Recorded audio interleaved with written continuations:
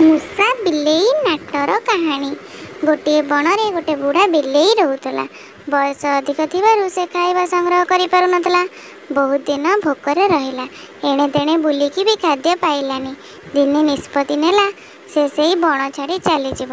ସତରେ ଦିନେ ସେ ବଣ ଛାଡ଼ି ଚାଲିଗଲା। ବାଟରେ ଯାଉ ଯାଉ ଗୋଟେ ଜାଗାରେ ଦେଖିଲା କେତେଗୁଡ଼ିଏ ମୂଷା ଖେଳୁଛନ୍ତି।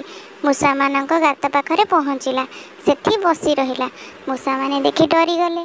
ତାପରେ ମୂଷାମାନଙ୍କର ଗୋଟେ ସଭା ବସିଲା। ସଭାର ସଭାପତି ସମସ୍ତଙ୍କୁ କହିଦେଲେ ଯେ ସେ ତା'ର ଅନୁମତି ନ ନେଇ ବାହାରକୁ ଯିବେ ନାହିଁ।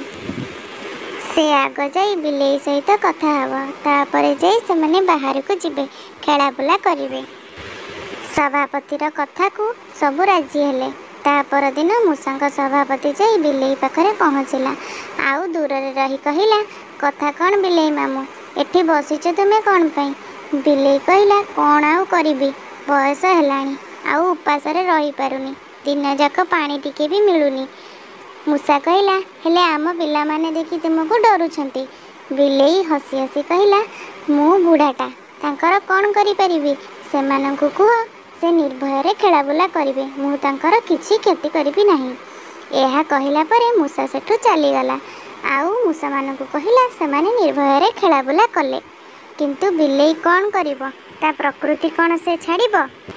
ବୁଢ଼ା ହେଲେ କ'ଣ ହେଲା? ମୂଷାମାନେ ଯେତେବେଳେ ଖେଳିବୁଲି ଘରକୁ ଫେରନ୍ତି, ଛକି ବସିଥାଏ ବିଲେଇ। ଶେଷରେ ଯେଉଁ ମୂଷାଟି ଥାଏ ତାକୁ ଖପ୍ କରି ମାଡ଼ି ବସେ ଓ ଖାଇଦିଏ। ଧୀରେ ଧୀରେ ମୂଷା ସଂଖ୍ୟା କମିବାକୁ ଲାଗିଲା। ମୂଷାମାନଙ୍କ ମଧ୍ୟରେ ସନ୍ଦେହ ହେଲା ଓ ଦିନେ ମୂଷାର ସଭାପତି ଛକି ବସି ବିଲେଇକୁ ଦେଖିଲା ଓ ସେ କ'ଣ କରୁଛି ଆଉ ବିଲେଇର କାରନାମା ସବୁ ଦେଖିଲା। ଯେ ଶେଷରେ ଯେଉଁ ମୂଷାଟି ତାକୁ ଖାଇ ଦେଉଛି, ଏକଥା ଦେଖି ବିଶ୍ୱାସ କରିପାରିଲା ନାହିଁ। ପୁଣି ମୂଷାମାନଙ୍କର ଆଉ ଗୋଟିଏ ସଭା ବସିଲା। ସଭାରେ ସବୁ କଥା ଆଲୋଚନା ହେଲା।